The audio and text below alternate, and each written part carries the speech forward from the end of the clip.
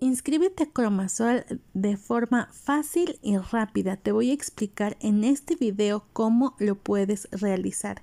En la parte de abajo de este video viene el link para que tú puedas darle clic y de esta forma puedas em, seguir conmigo el paso a paso para poderte inscribir.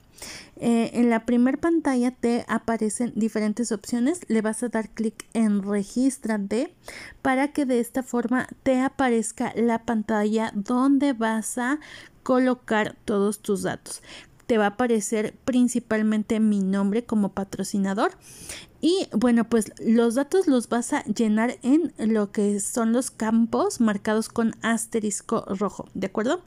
Te va a aparecer principalmente lo que es el país de residencia, le vas a seleccionar tu país y abajo viene lo que es la sucursal. Vas a seleccionar la opción e-commerce, ¿de acuerdo?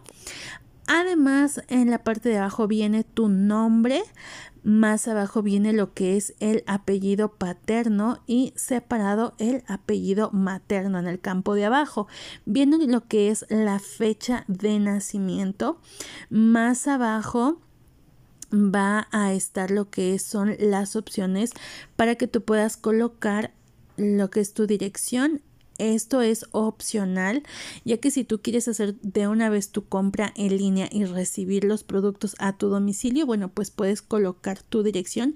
Si no, no hay ningún problema, lo podemos dejar para después para que lo puedas hacer directamente en tu oficina virtual. ¿De acuerdo? Más abajo vienen lo que son los campos del teléfono. Vas a copiar tres veces tu número telefónico, por favor. Y bueno, más abajo viene lo que es tu correo electrónico. Hasta abajo vienen tres recuadros que dicen estoy de acuerdo. Vas a seleccionar los tres recuadros de igual forma. Vas a darle clic en guardar. Cuando tú le das clic en guardar, te aparece lo que es la pantalla tu código de compras.